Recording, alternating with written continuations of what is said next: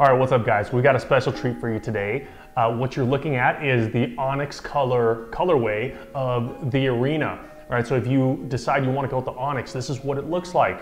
Or want to go ahead and show you guys.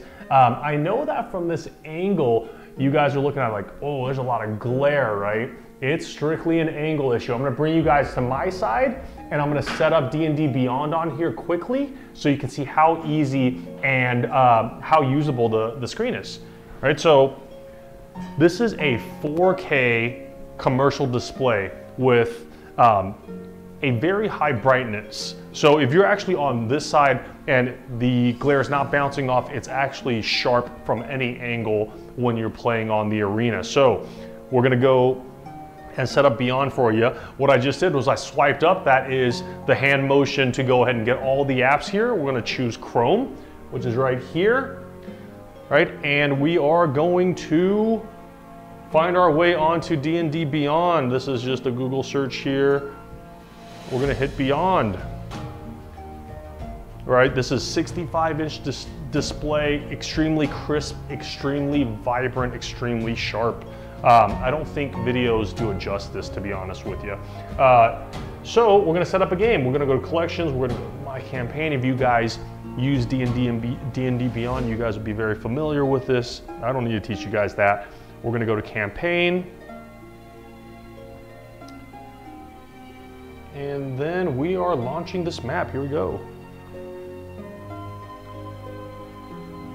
All right, give it a second to load and boom, because this is fully touchscreen and behaves like a giant tablet, if you just want to go ahead and size, you just do the swiping size motion, you put it where you want, and then you have all your controls here. So that, we just set up D&D Beyond in like five button swipes. Um, so extremely simple.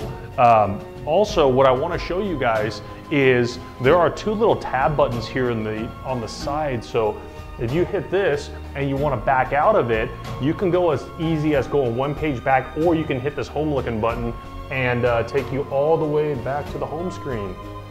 Boom. All right, you want to go back to there?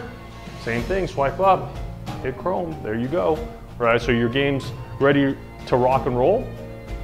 Now, I'll give you one really cool feature um, and this has been mentioned uh, in one of the messages. They were like, one of the one of you backers were like, "Hey, I want to use this for a educational tool for my kids," and that is a wonderful idea. Not only can you bring up whatever content that you want directly on the screen, what you can do is also hit this button right here, which is the whiteboard, and you can start drawing things.